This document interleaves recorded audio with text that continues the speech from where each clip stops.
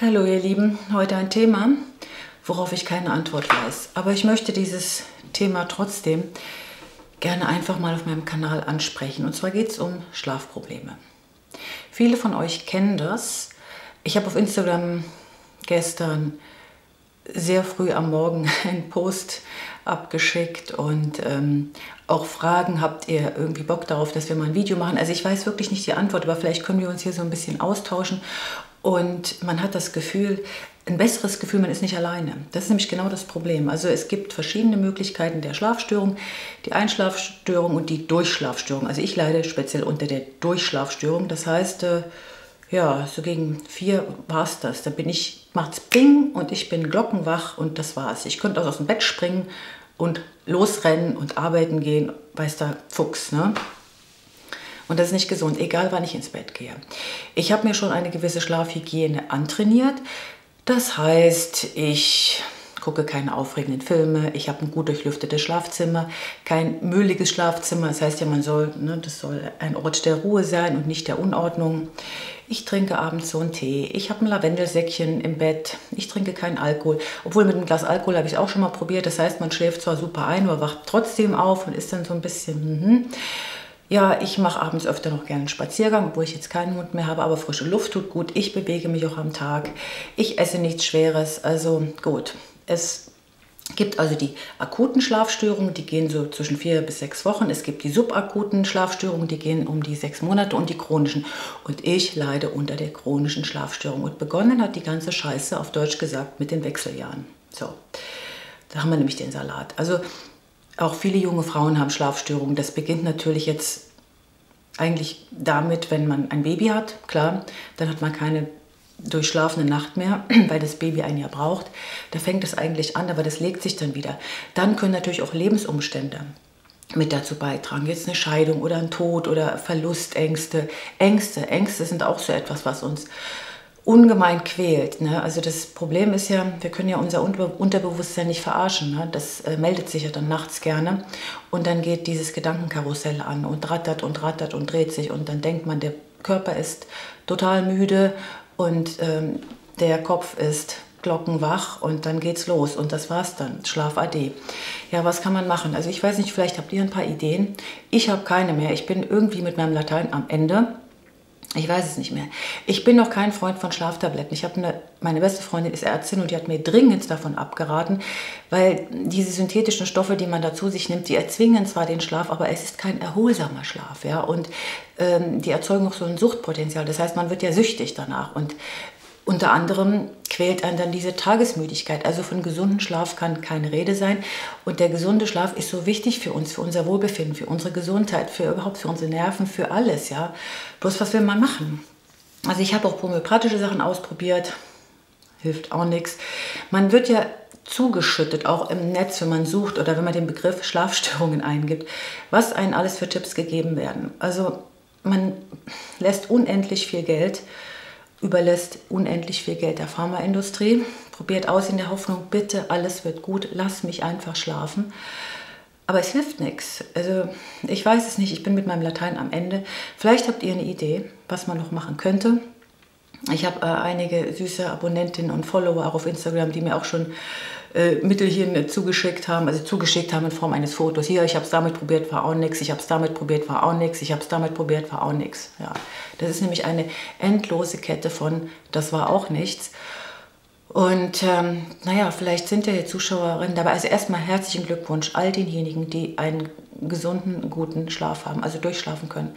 Man soll nicht zu viel schlafen, zu wenig ist aber auch nicht gut. Ich meine, ich rede immer von der senilen Bettflucht. Ja, ich springe wirklich aus dem Bett, weil wenn ich mich dann da weiter rumwälze, bringt es auch nichts. Ne? Also die senile Bettflucht mit Mitte 50 ist, glaube ich, ein bisschen früh. Gut, also was machen? Ne? Was tun? Weil ich, ich weiß es nicht. Ich bin ein bisschen Nee, verzweifelt bin ich nicht. Ich war eine Zeit lang sehr verzweifelt, weil es schon über Jahre geht. Mm, aber besser ist es, glaube ich, einfach das Problem anzunehmen. Ich gehe damit also ziemlich easy um, weil hilft ja nichts. Ne? Jammern füllt keine Kammern. So, aber es raubt einen schon irgendwie den Nerv. Und äh, man sagt zwar im Alter braucht man weniger Schlaf, aber so sechs bis sieben Stunden wäre schon nicht schlecht. Also nochmal, ich habe irgendwie den Faden verloren. Also die Frauen oder die Menschen, die das jetzt sehen, die sechs bis sieben Stunden schlafen, ihr könnt euch glücklich schätzen. Ihr könnt euch jeden Morgen also auf den Boden schmeißen und beten, bitte, ja, danke lieber Gott, dass du mich hast schlafen lassen, weil das ist ein Geschenk. Guter Schlaf ist wirklich ein Geschenk. Und diejenigen, die das jetzt schauen und auch nicht gut schlafen können und zu wenig schlafen, die wissen genau, was ich meine und würden sonst was darum geben, endlich wieder schlafen zu können. Ja, das war jetzt mal so ein kurzer Einspieler für einen Sonntag mit einem Problem, was ich nicht lösen kann. Ich würde es so gerne, ich würde so gerne mich hierher setzen und sagen, so, ich habe jetzt das ultimative Mittelchen für euch und ihr habt nie wieder Schlafprobleme. Das gibt es aber nicht. Oder vielleicht gibt es das. Aber gut, nee, ich glaube nicht, dass es das gibt. Es wäre zu schön, um wahr zu sein. Aber vielleicht habt ihr noch ein paar Sachen. Also ich würde das schön finden, weil es ist ja so ein Kanal, wo nicht nur ich laber, sondern wo ihr euch auch untereinander Tipps gebt, ne, wo untereinander die Kommentare gelesen werden von den Zuschauern und äh, ihr euch da weiterhelft. Also dass es nicht nur über mich geht und das finde ich ganz toll. Und vielleicht kommen ja da so ein paar ganz konstruktive Ideen und Vorschläge, wo der ein oder andere was draus entnehmen kann und sagen, Mensch, ja, ich probiere das mal aus. So, das war Sinn und Zweck meines Problemvideos, was ich nicht lösen kann. Schlafproblem. Ihr Lieben, es ist Sonntag. Ich hoffe, ihr habt gut geschlafen und nicht zu wenig geschlafen. Und was ich vielleicht den Tipp, den ich geben kann, nicht hadern. Also hadern bringt gar nichts. Ne? Dieses Hadern macht einen ja noch irre. Nehmt's, also das Einzige, was ich euch wirklich empfehlen kann, nehmt es an. Nehmt dieses Problem an, es ist so, wie es ist. Ne? Und vielleicht ändert sich ja mal irgendwas. Also die Wechseljahre sind jetzt bei mir zum größten Teil vorbei. Die haben ungefähr zehn Jahre angedauert. Zehn Jahre. Leute, ich sag euch, das war so ein Mist. Ich habe keine Hormone genommen, ich habe auch keine Ersatzhormone, irgendwas Pflanzliches genommen. Ich bin da durch, wie so eine richtige Frau. Ich bin da durch. Und ähm, so, und meine Hoffnung ist ja, dass das irgendwann mal aufhört. Ne? Vielleicht, vielleicht, äh, vielleicht hört das auch auf, wenn man gelassener ist, weil dieses Leben macht dann ja auch so, das ist ja anstrengend, dieses Leben geworden. Es ist anstrengender geworden. Und wir haben so viel um die Ohren und so viel im Kopf und so viel beschäftigt uns. Und wir haben ja kaum noch Auszeiten. Ne? Und, und, und, und sind hier und da und überall. Und irgendwie werden wir auch gezwungen, so mitzurennen. Wenn du dann stehen bleibst, wirst du umgerannt. Ne? Ihr wisst, was ich meine. Ich rede jetzt in Bildern. Man muss ja mitlaufen. Und dieses Mitlaufen, das stresst natürlich. Ne? Also nicht nur jetzt eine Scheidung, ein Arbeitsverlust, ein Verlust eines Partners oder so. Auch viele kleine andere Dinge, die einen so umtreiben, ne? die einen psychisch belasten. Die Psyche ist eben so ein kleines Wunderwerk in uns und die müssen wir eigentlich hätscheln und tätscheln und pflegen. Und das ist manchmal gar nicht so leicht, weil wir oft auch Raubbau damit betreiben, mit unserer Psyche. Also fangen wir mal an mit der Psyche. Also ich, ich versuche das jeden Tag und schöne Gedanken haben beim Einschlafen. Schöne Gedanken haben. Also ich lese mal ein schönes Buch, nichts Aufregendes, also kein Krimi, irgendein schönes Buch.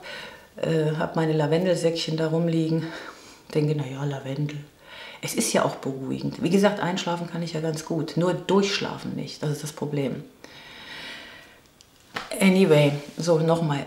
Ich wünsche euch wie immer das Beste. Seid besonders gut zu euch. Und es wäre schön, wenn hier so ein bisschen Aktivität auf diesem Kanal bezüglich also dieses Themas stattfinden würde.